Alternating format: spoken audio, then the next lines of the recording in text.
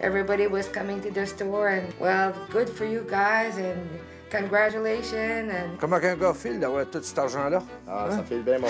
It's a thousand dollar a week and uh, it's fifty-two thousand a year, tax free. Me and Liz, we have more time to do what we want to do.